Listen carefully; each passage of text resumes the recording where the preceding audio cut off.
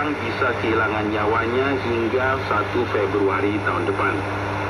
Kantor itu pada Kamis melaporkan bahwa jumlah kasus baru yang tercatat pekan lalu naik sebanyak 6 persen di 53 negara di luar kantor itu yang termasuk Asia Tengah dan Rusia. Disebutkan bahwa kematian akibat COVID-19 di kawasan itu juga bertambah sebanyak 12 persen dibandingkan pekan sebelumnya.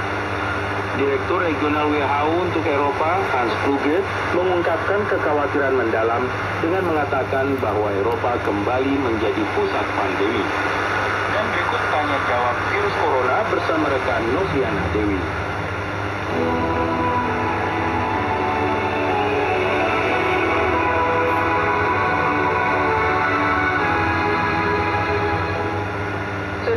NHK menjawab berbagai pertanyaan dari para pendengar mengenai virus corona. Kali ini kami akan membawakan bagian kedua dari serial tentang hasil survei Jepang mengenai gejala sisa virus corona atau yang juga dikenal dengan sebutan long COVID. Sejak Februari 2020, Pusat Nasional Kesehatan dan Obat-obatan Global serta sejumlah pihak lainnya melakukan survei atas orang-orang yang telah pulih dari COVID-19. Analisis dilakukan atas respons dari 457 orang berusia 20-an hingga 70-an tahun. Berikut ini data selanjutnya dari survei tersebut berdasarkan gejala sisa yang dialami. Untuk gejala napas pendek, sekitar 20% responden merasakan napas pendek dalam satu bulan setelah mengalami gejala COVID-19.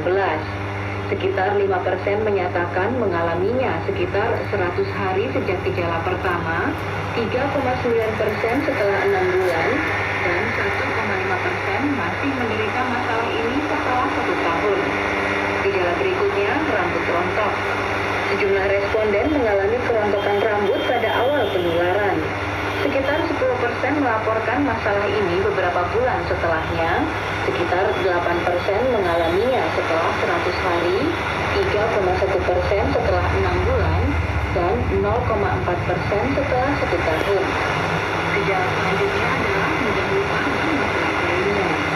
Untuk gejala sisa mudah lupa atau punya daya ingat, 11,4% menyadarinya setelah 6 bulan dan 5,5% setelah satu tahun. Sementara untuk gejala berkurangnya tingkat konsentrasi, 9,8% mengalaminya setelah 6 bulan dan 4,8% setelah satu tahun. Sejumlah responden juga menderita depresi dengan 8,1% mengalaminya